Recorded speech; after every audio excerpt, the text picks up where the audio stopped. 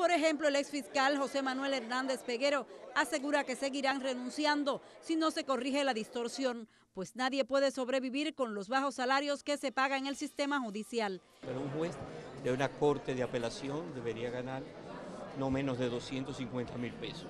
Mientras Radamés Jiménez Peña es Procurador General de la República, entiende que el margen de los sueldos de los jueces de las altas cortes y los jueces de los tribunales ordinarios tiene una gran brecha. El margen eh, es bastante grande, es bastante grande, pero recuerde que eso eh, no, no ha sido así ahora, eso ha sido así siempre.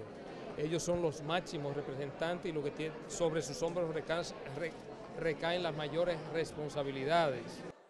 Desde la Fundación Institucionalidad y Justicia, Servio Tulio Castaños dice que el sueldo de los jueces y empleados del Poder Judicial está estancado desde hace seis años, que apenas sobreviven con bajos salarios.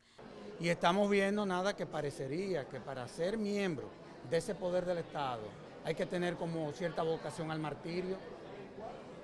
Más del 77% de quienes laboran en el Poder Judicial ni siquiera ganan lo que sería para cubrir su canasta familiar. Al tratar el tema, el presidente de la Suprema Corte de Justicia lo ve de forma jocosa y cuando se le preguntó si vive con el sueldo que devenga, contestó de esta forma. Pero es que eso está en el presupuesto. Yo exactamente, yo exactamente no lo recuerdo. Lo único que sé con exactitud ahora es que yo ando con mi cartera y ando sin un chile. Arelis Ceballos, Informativos Teleantillas. Ahora